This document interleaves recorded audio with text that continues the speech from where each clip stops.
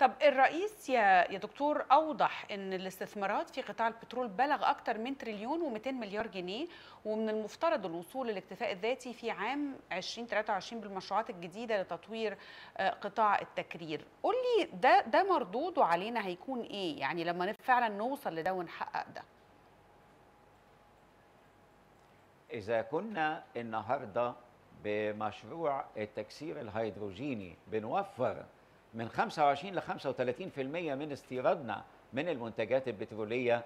فكلام السيد الرئيس يشير إلى أن سنة 23 البنية الأساسية المضافة في قطاع تكرير البترول ستصل بنا إلى الاكتفاء الذاتي يبقى ال 25 ال 75% الباقية التي يتم استيرادها حاليا.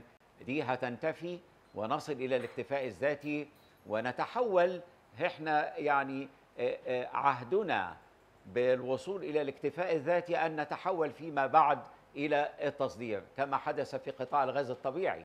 إحنا عندما وصل إنتاجنا إلى 7.2 من عشرة مليار قدم مكعب في اليوم آه، مع الكشوف الكبرى التي حدثت في إطار في نطاق الغاز الطبيعي إحنا وصلنا للاكتفاء الذاتي سنة في نهاية 2019 وتحولنا إلى التصدير وأصبح آه، مشاركة مصر في تصدير الغاز المسال في السوق العالمية للغاز المسال سنة 2019 حوالي 1% من حجم هذه السوق بما يساوي 3.5 مليون طن من الغاز المسال.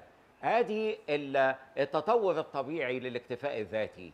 نحن نكتفي ذاتيا إن شاء الله. من حيث في في في في مجال المنتجات البترولية عام 23 آه. وده معناه إنه مؤشر آه، إن إحنا أن نبدأ إلى التحول إلى التصدير